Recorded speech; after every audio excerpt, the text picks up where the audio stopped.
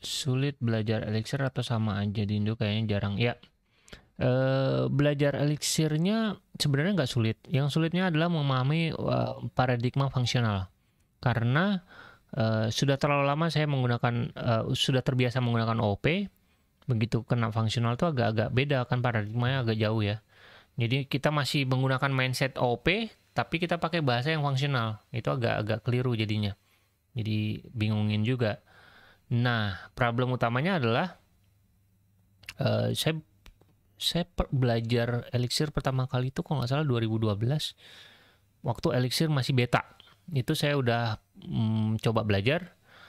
Sampai sekarang saya belum pernah dapat project eh dapat satu project Elixir pernah satu pernah sekali dapat project Elixir sekali sebelum Hacktivate susah soalnya kalau di Indo di Indo uh, ada yang pakai tapi uh, bukan bahasa utama gitu. Jadi project-projectnya juga jarang. Memang dia niche banget ya. Uh, jadi ya kalau belajar doang nggak ada prakteknya susah. Harus ada prakteknya.